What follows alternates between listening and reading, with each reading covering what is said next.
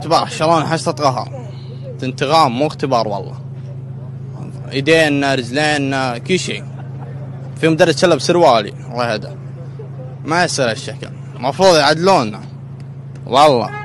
إيه عن حفة الله إيه، جاء. ترجم لنا كم كلمة؟